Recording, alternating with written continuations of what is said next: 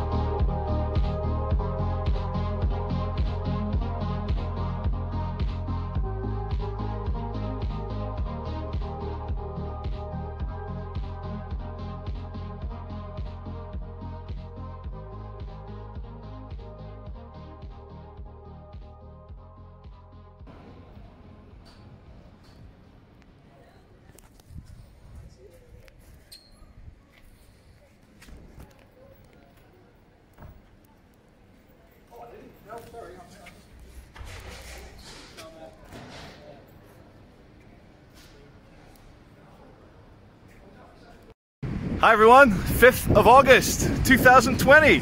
I turn 40. I'm 40 now, I'm middle aged.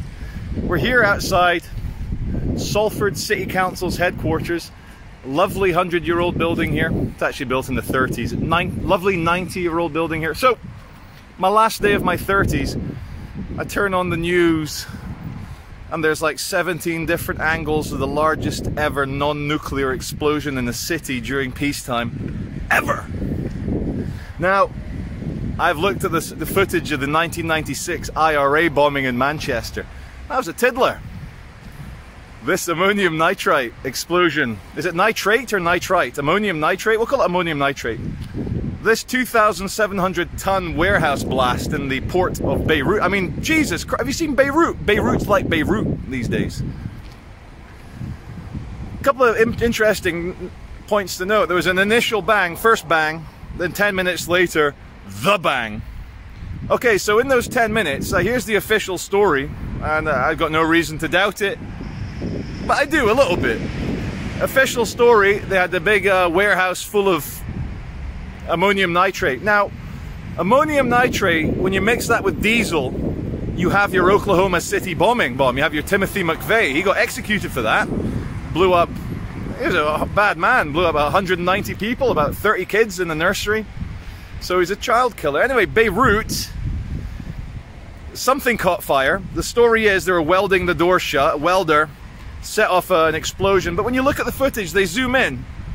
It's pop, pop, pop, pop, pop, pop. It, it looks like the beginning of a fireworks factory explosion. Now type in fireworks factory explosion, you'll see on YouTube. There's a lot of different examples in Holland, Mexico.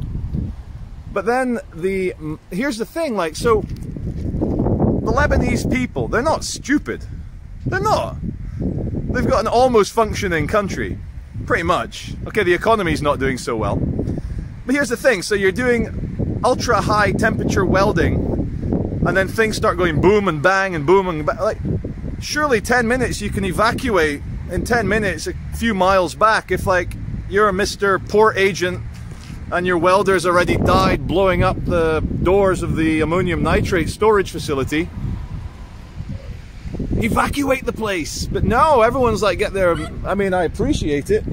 They got their HD cameras out, so we all got to see this mother of all blasts. But what was popping beforehand? Was that ammonium nitrate popping? Pop, pop, pop, pop, pop. And why didn't the initial blast set off the, the rest of it? That's a bit of a silly question. Who knows what compartments there were for things to blow up in. But I just cannot understand, like, there were still drivers on the road on all the footage you see, like driving like 200 yards away. There's footage, it's on Twitter, of a guy driving along and he's like a mile away and his car gets blown to pieces and you see the shockwave coming towards him what a weird thing to have on my last day of my 30s. No, I, I mean, oh my, I, I got injured during that explosion. I fell over the coffee table in shock watching it.